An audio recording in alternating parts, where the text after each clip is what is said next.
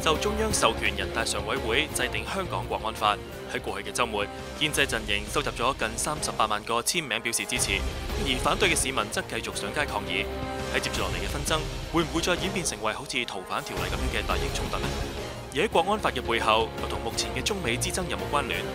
近期嘅股市下挫以及社會恐慌，又會唔會激發下一波嘅移民潮呢？歡迎觀眾上網表達意見。時事平台星期日晚八點三十五分會同大家一齊討論。